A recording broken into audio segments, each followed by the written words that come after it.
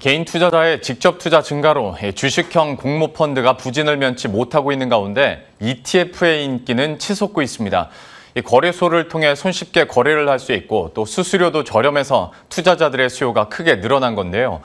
ETF 시장이 뜨겁게 달아오르자 운용업계는 역량에 따라 초과 수익을 기대할 수 있는 active ETF를 앞다퉈 출시하는 등 차별화 전략을 펼치고 나섰습니다. 조형근 기자입니다.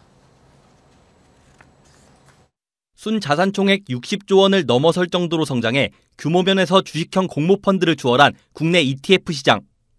ETF 시장 성장과 함께 운용사 간 경쟁도 치열해지고 있어 운용업계는 상품 차별화에 사활을 걸고 있습니다. 최근에는 초과 수익을 기대할 수 있는 active ETF가 연이어 증시에 입성하면서 수익률 경쟁에 불이 붙었습니다. active ETF는 비교 지수를 추종하는 passive ETF와 달리 운용사 역량에 따라 성과가 달라진다는 점이 특징입니다. 업계 1, 2위를 다투는 삼성운용과 미래에셋운용은 지난해에 이어 올해도 active ETF를 상장해 상품 라인업을 확충했습니다. 한편 한국투자신탁운용은 기존 킨덱스가 아닌 새로운 브랜드 내비게이터를 통해 active ETF를 선보이고 나섰습니다.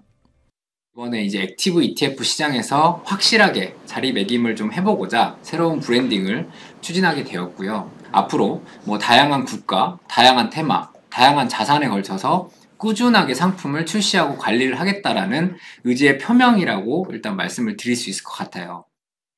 이외에 헤지펀드 강자로 꼽히는 타임폴리오 운용도 ETF 시장에 도전장을 내밀어 눈길을 끌고 있습니다.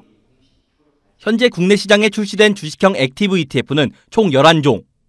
다수의 운용사가 추가 상품 출시를 고려하고 있어 그 수는 더욱 늘어날 전망입니다. 금융당국도 상관계수 규제 완화 등 제도 개선을 검토하겠다고 밝혀 시장 성장에 가속도가 붙을 것이란 기대가 나옵니다. 금융위원회 관계자는 다양한 공모펀드의 출현을 유도하고자 한다며 주식형 active ETF의 추가 제도 개선을 검토할 것이라고 말했습니다.